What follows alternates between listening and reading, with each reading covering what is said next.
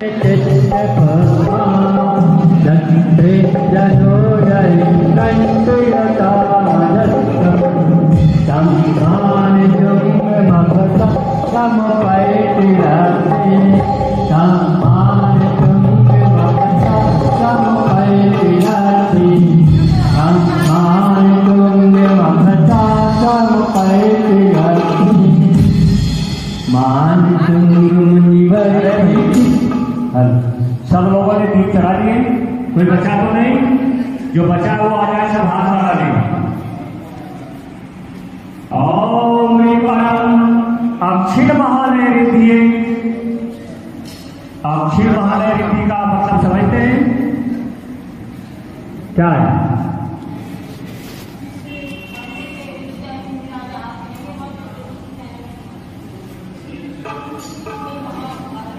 अक्षिण महालय का मतलब है, जिस स्थान पर मुनिराज ठहरे हैं, मान लो ये हाल है, इस हाल में ठहरे हैं, अगर वह हज़ारों की संख्या में भी मनुष्य आ जाए तो वो उस जगह में समा जाते हैं। जगह की कोई कमी नहीं होती, किसी को बैठने में बाधा नहीं होती। और अक्षिण महालय रिद्धि अक्षिण महालय रिद्धि प्राप्त ज्वलनम